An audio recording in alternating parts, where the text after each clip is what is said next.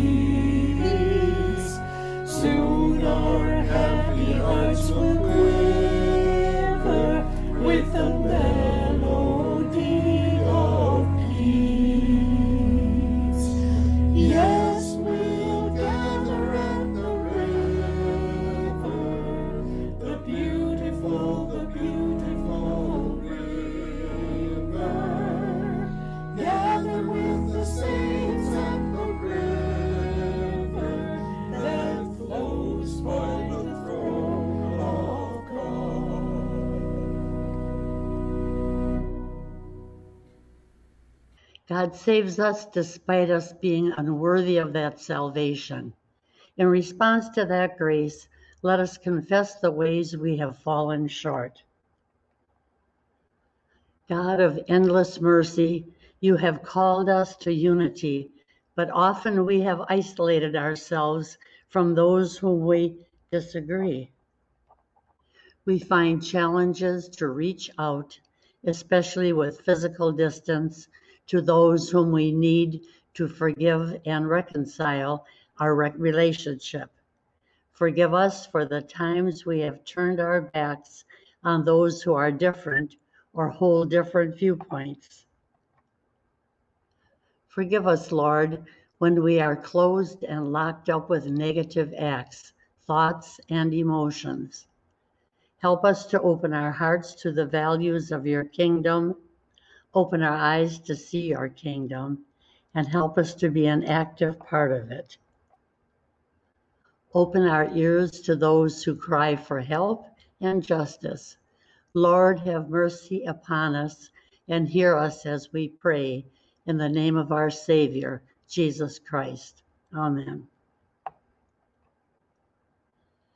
God gives many gifts. God calls us to be the one body of Christ, our Lord. The Spirit of God empowers us to receive the gift of forgiveness. We honor our Lord with faith when we share this gift with all through the ministry of reconciliation. We are forgiven, loved, and accepted.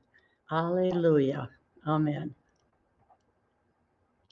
In Christ, we are reconciled.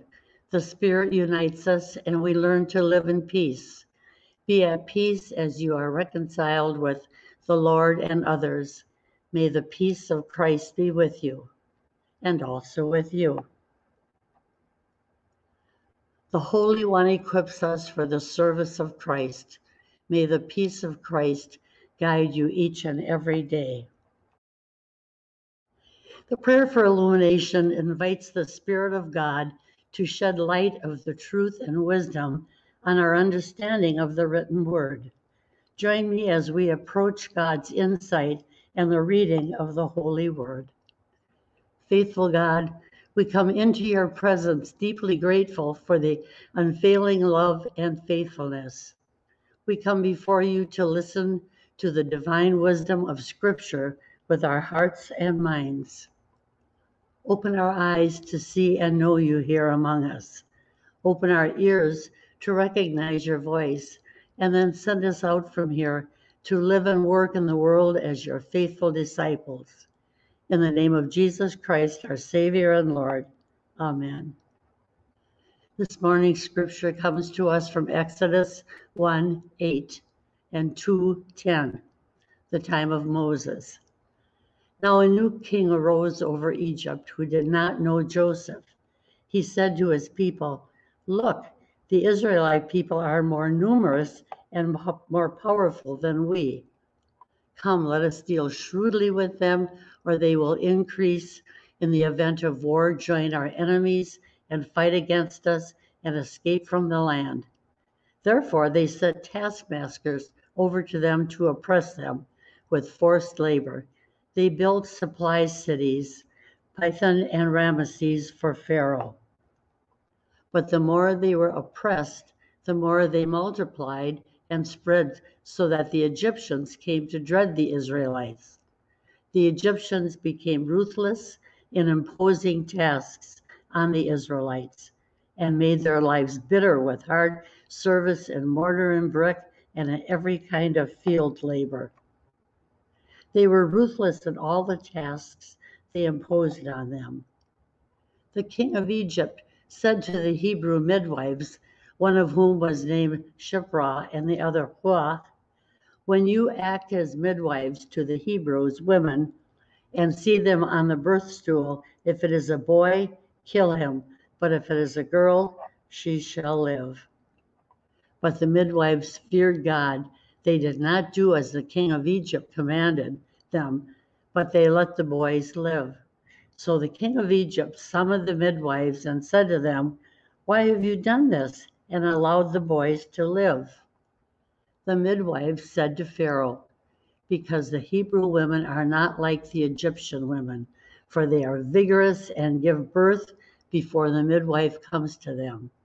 So God dealt well with the midwives, and the people multiplied and became very strong.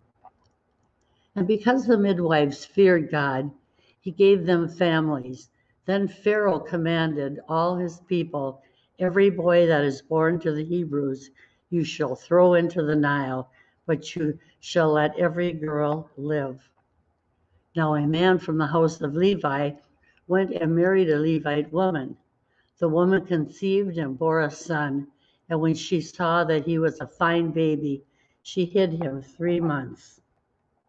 Then she could hide him no longer. She got a papyrus basket for him and plastered it with bitumen and pitch.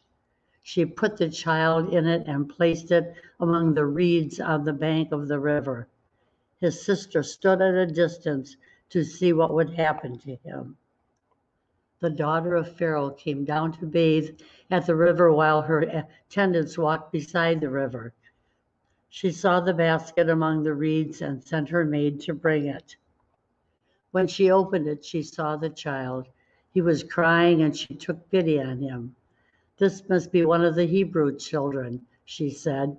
Then his sister said to Pharaoh's daughter, Shall I go and get you a nurse from the Hebrew women to nurse the child for you? Pharaoh's daughter said to her, Yes. So the girl went and called the child's mother. Pharaoh's daughter said to her, Take this child and nurse it for me, and I will give you your wages. So the woman took the child and nursed it. When the child grew up, she brought him to Pharaoh's daughter, and she took him as her son. She named him Moses, because she said, I drew him out of the water. Our special music today is Wade in the Water, a Negro spiritual.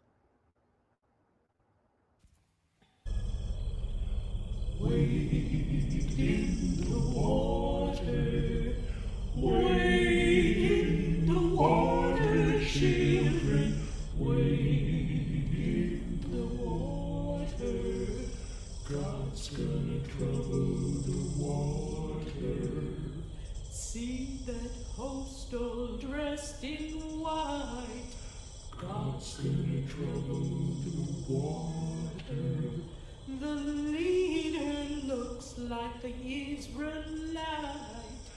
God's gonna trouble the water.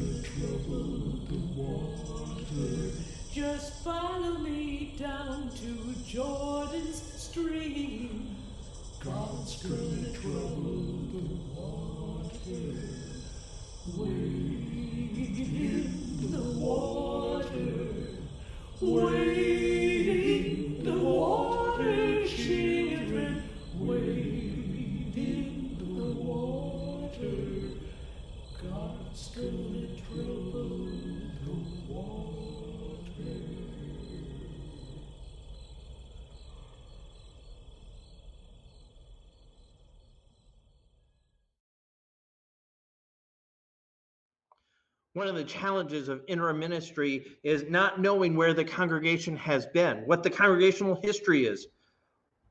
Who have you been as a congregation, eh, as one of God's people? And I believe our history, yours and mine, impact who we are and how we respond to different situations in ministry.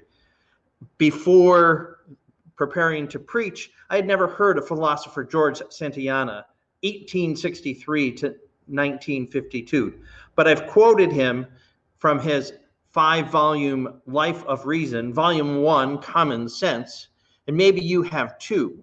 And I'll quote Those who cannot remember the past are condemned to repeat it.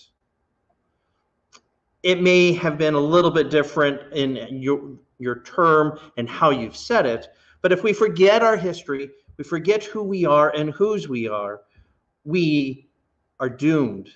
We are going to have to learn the lesson over again. So let me give you a little history lesson. My grampy, my maternal grandfather, was born on August 23rd, 1892. If he were still alive, he'd be 128 years this year. But he did die in January of 1986, my senior year in college. He was 93 at the time. And I never knew his wife, Ada May, who was born July 24th, a day after my birthday, in 1897, a few years before mine. But she died in November of 1944 at the age of 47 when my mom was just 11 years old. And yet, those events are how mom was developed as a young girl. Those events that I never experienced impacted who I was as a child. During this time, Ada was sick, and mom tagged along with her father doing farm chores and developed a very strong relationship with her father, my grampy. And then when Ada died, she continued to tag along because her older sisters, Gwen and Marcia, were taking care of the younger siblings, Bud, Sonny, Dawn, and Ruthie. These events and relationships formed her into the woman that she was. And when Marcia and Gwen got married and moved out of the house, she then took over that role of cooking and caring for others. Our scripture today comes at the beginning of Exodus, and it's a jump of about 400 years from the end of Genesis that we preached on last week. When the Israelites were welcomed and honored because of Joseph's position in Pharaoh's court but now a new Pharaoh has taken over and does not remember Joseph and his work as a life preserver for the nation. So the events of Exodus will form the Israelite nation and their history as they move out into the world. In my training as a pastor, I have spent time reflecting on my own family of origin and how it impacts my life, and sometimes how that impacts how I respond to others who remind me of particular family members. I've become aware that certain people who, even when I first meet them, can trigger responses based on relationships with my own siblings. Some of those are positive, and others are a little more challenging. But as I become aware, sometimes I hold an initial response. It stays in my thought bubble instead of being spoken. And as an interim, I've explored even deeper connections using Murray Bowen's family systems theory based on Edwin Friedman's generation to generation, where things that happened in one generation impact those of the next generation and the next. One of the most startling nuggets of information gained through this training was that events from our history, even those experienced by our ancestors that we've never met, can impact who we are events in a congregation that happened 100 years ago or 95 years ago or 175 years ago can change and impact how we collectively gather together as God's people today. Here's an example that really caught my attention. The church consultant received a call from a pastor who was struggling with church conflict on a Friday afternoon. She had been there for just a few years but had was one in a long line of a short pastorate, a revolving door, pastors coming and going. The pastor expressed her frustration with the phrase, I feel like I've been hit by a freight train. As the consultant explored the history of the congregation, he discovered an amazing connection that although they had never talked about it, in the history of the congregation. And most of the people, a member of the congregation, did not remember the history. Over 100 years ago, a well loved pastor had died by an accident. And you guessed it, he was hit by a train. Another pastor, about 30 years later, died by suicide when he stepped in front of a train. The system still responded to events with that anxiety of their past that they had never really talked about and processed. And no one living had really been a witness to those events when they happened, but they impacted how they responded as a congregation. As an interim pastor, guiding congregations in times of transitions, we help congregations explore some of their history. And we're a little challenged right now getting together and having discussions. So, what I invite you to do this week in preparation for a time when we can have this discussion is what is the history of Greenfield Avenue Presbyterian Church? And how does the formation of this congregation and its history impact you? And the fun one could be which family members remind you of particular members of God's family, this congregation? And how do you respond? And how might you be more faithful to God in a different response by holding your tongue just a little bit. Remember, the Lord our God is with us in the past and in the future. Our history, who defines who we are today, can impact who we become as God's people. And understanding our past, even way back 400 years ago when first Christians came to this country, might impact who we are and how we serve the risen Lord. And even if we don't know what happened, even if we don't know who did something, it can impact who we are today as a people of God and how we respond to others with God's grace. So let us seek the Lord and God's grace and peace to find healthy ways to respond with compassion and service and hope. To God be the glory. Amen.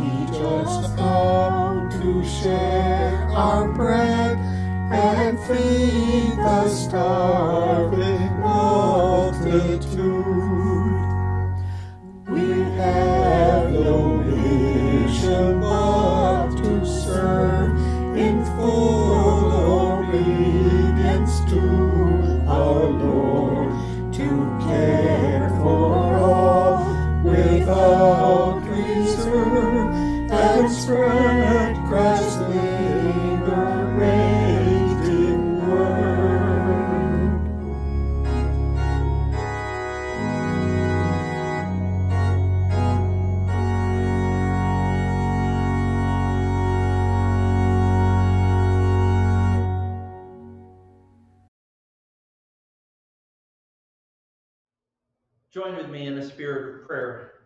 God and creator of all humankind, we gather together as your people to think about and reflect on the history and your guiding hand throughout history. How you have formed us into the people of God who worship your Son, Jesus Christ, through the power of your Spirit, that the church might be the body of Christ, that we might be one with our Lord that we might bring peace and hope to a nation. May we be renewed with our minds as we seek Christ and rekindle our love for one another in our hearts, so that, powered by the Spirit, we might serve God and neighbor with oneness of heart and mind.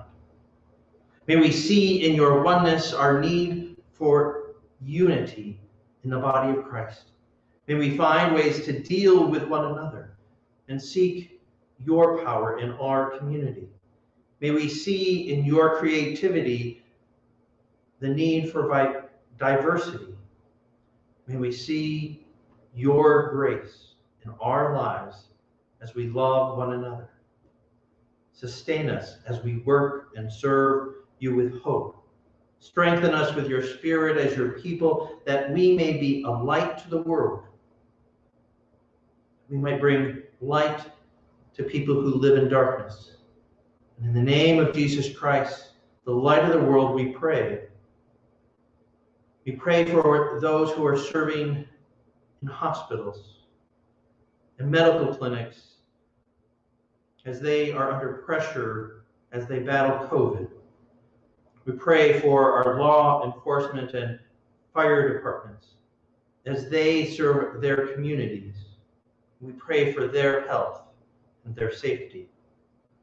We pray for JT's coworker, Nathan, for his sister-in-law and niece who lost their husband and father this last week at the age of 31. May they find peace and comfort and understanding in their time of grief. And for Nathan's brother Nick, who is anxiously waiting for results to see his diagnosis. And we pray for a positive report. And this time of year, we pray for our teachers and students and all those involved with returning to school, bus drivers, and educational assistants, and library staff. We pray for their safety and their care for a healthy return. We pray all this in the name of Jesus, who calls us to pray with one voice Our Father, who art in heaven, hallowed be thy name. Thy kingdom come, thy will be done on earth as it is in heaven. Give us this day our daily bread, and forgive us our debts, as we forgive our debtors. And lead us not into temptation, but deliver us from evil. For thine is the kingdom, and the power, and the glory forever. Amen. We bring our gifts to the Lord to be stored for the future. We trust in the promise of eternal life and constant care. We encourage you to continue your support of Christ's work through Greenfield Avenue Presbyterian Church with your pledges and contributions. We remember the Lord works through us. For the gifts sent in and ready for tomorrow's mail, let us give thanks and praise as we dedicate God's work among us. Join me in prayer. Faithful God, we bring our gifts with humility. We trust in your promises as we observe your faithfulness. Multiply these gifts for ministries that empower people to trust in your holy word. We pray in the name of the holiest of teachers, Jesus the Messiah. Amen. Hymn number 700 I'm going to live so God can use me. Another spiritual.